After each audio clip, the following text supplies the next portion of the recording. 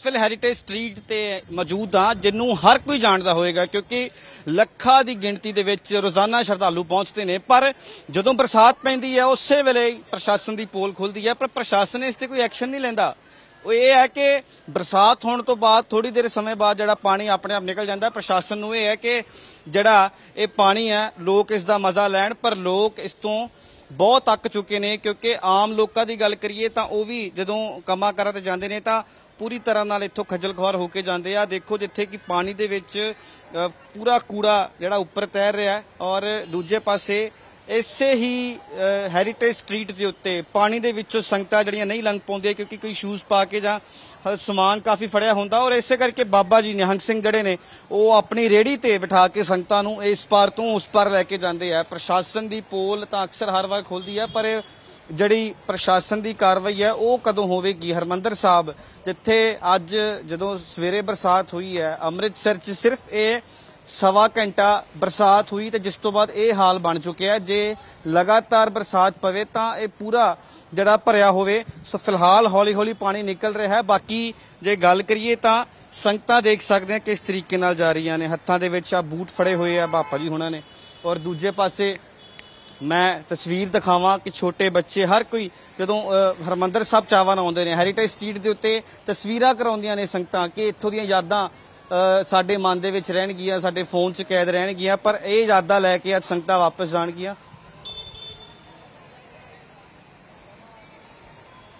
ਜੀ, ਬਿਲਕੁਲ ਹਰਮੀਤ, ਔਰ ਸਿਰਫ ਪੰਜਾਬ ਤੋਂ ਨਹੀਂ, ਬਹੁਤ ਦੂਰ ਦੂਰ ਤੋਂ ਵਿਦੇਸ਼ਾਂ ਤੋਂ ਵੀ ਇੱਥੇ ਸਿੱਖ ਸੰਗਤ ਪਹੁੰਚਦੀ ਹੈ।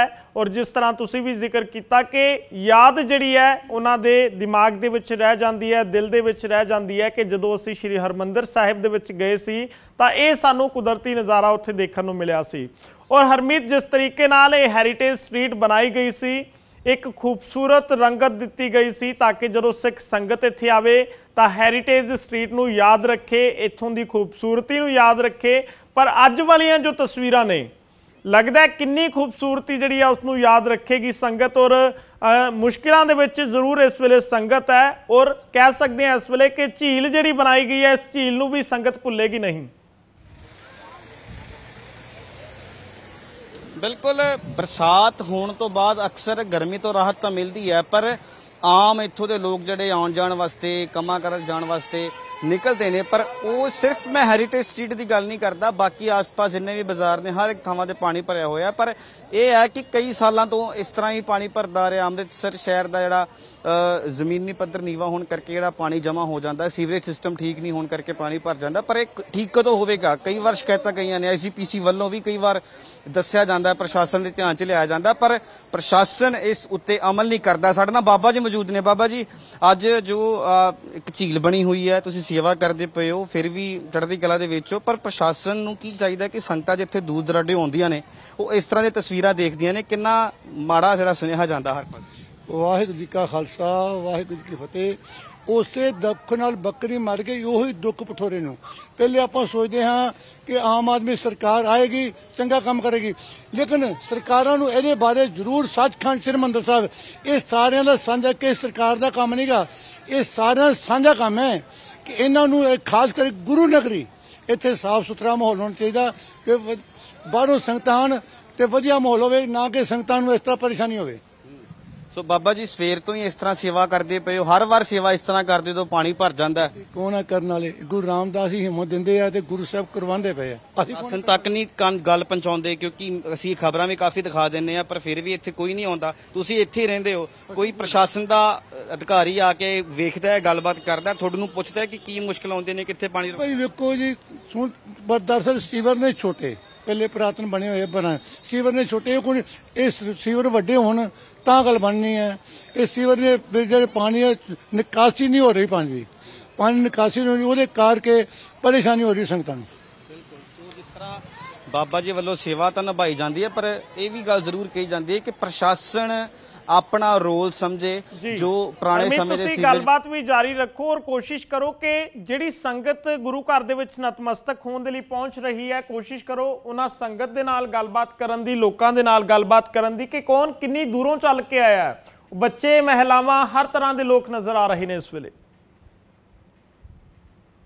कहाँ से आए हो आप लुधियाना आ, कैसे निकल रहे हो प्रशासन के ऊपर तो गुस्सा आ रहा होगा अच्छा लग रहा है ਆ ਦੇਖੋ ਜੀ, ਇਹ ਵੀ ਤੰਜ ਹੈ ਸਰਕਾਰ ਤੇ, ਇਹ ਵੀ ਤੰਜ ਹੈ ਪ੍ਰਸ਼ਾਸਨ ਤੇ। ਉਹ ਕਹਿੰਦੇ ਨੇ ਚੰਗਾ ਲੱਗ ਰਿਹਾ। ਪਾਣੀ ਚੋਂ ਨਿਕਲ ਰਹੇ ਨੇ, ਕਹਿੰਦੇ ਚੰਗਾ ਲੱਗ ਰਿਹਾ। ਸੋ ਇਹ ਜਿਹੜੀ ਤਸਵੀਰ ਦੇਖ ਰਹੇ ਨੇ ਸੰਗਤਾਂ, ਉਹਨਾਂ ਨੂੰ ਤੇ ਇਹ ਚੰਗਾ ਲੱਗ ਰਿਹਾ, ਪਰ ਪ੍ਰਸ਼ਾਸਨ ਵਾਕਈ ਇਹ ਤਸਵੀਰਾਂ ਦੇਖ ਕੇ ਆਪਣੇ ਆਪ 'ਚ ਸੋਚਦਾ ਹੋਊਗਾ ਕਿ ਇਹ ਕਦੋਂ ਤੱਕ ਮਸਲਾ ਹੱਲ ਕੀਤਾ ਜਾਵੇਗਾ, ਕਿਉਂਕਿ ਇਹ ਗੱਲ ਤਾਂ ਧਿਆਨ 'ਚ ਅਕਸਰ ਲਿਆਉਂਦੇ ਆ ਸਾਡਾ ਵੀ ਜਿਹੜਾ ਰੋਲ ਹੈ, ਉਹ ਅਸੀਂ ਬਾਖੂਬੀ ਨਿਭਾਉਂਦੇ ਆ ਕਿ ਹਰ ਇੱਕ ਪ੍ਰਸ਼ਾਸਨ ਦੇ ਅਧਿਕਾਰੀ ਤੱਕ ਇਹ ਤਸਵੀਰ ਜਾਵੇ ਔਰ ਅੰਮ੍ਰਿਤਸਰ ਗੁਰੂ ਨਗਰੀ ਦੀ ਇਹ ਤਸਵੀਰ ਪਹੁੰਚੇ। ਪਰ ਆ ਦੇਖੋ, ਧੁੱਪ ਨਿਕਲ ਚੁੱਕੀ ਹੈ। ਇੱਕ ਸਵੇਰੇ ਜੇ ਗੱਲ ਕਰਾਂ ਤਾਂ 7:30 ਤੋਂ ਲੈ ਕੇ 8:30 ਪੌਣੇ 9 ਵਜੇ ਤੱਕ ਬਰਸਾਤ ਹੋਈ ਹੈ। ਉਸ ਤੋਂ ਬਾਅਦ ਆ ਪਾਣੀ ਹੁਣ ਤੱਕ ਭਰਿਆ ਹੋਇਆ, ਧੁੱਪ ਵੀ ਨਿਕਲ ਗਈ ਹੈ।